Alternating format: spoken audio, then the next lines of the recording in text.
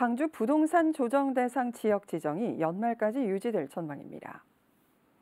국토교통부는 지난 27일 주거정책심의위원회를 서면으로 개최해 조정 대상 지역 추가 및 지정 해제 안건을 심의했고 광주는 지난 5월부터 7월까지 물가 상승률 대비 주택가격 상승률이 최대 11배 이상 올라 해제 기준에 충족하지 못한 것으로 나타났습니다.